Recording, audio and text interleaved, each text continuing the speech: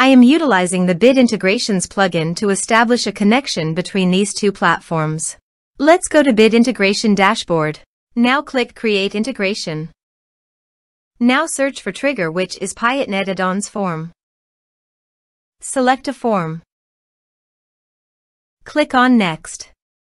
Now search and select an Action Pipedrive.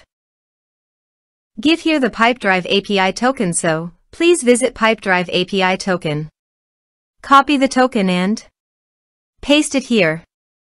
Authorized it. Authorization is successfully done. Next.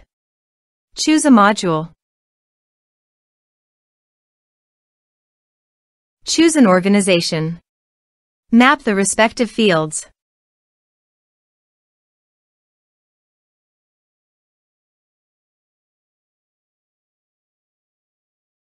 Here are some advanced features and actions you can use by checking the box.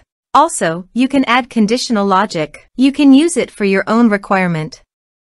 Next. Finish and save it. Let's submit a form.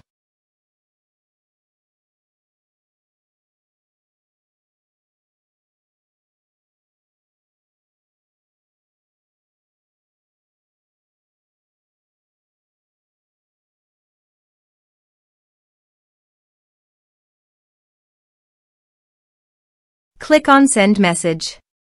Form submitted successfully. Go to the Pipedrive site and go to the People.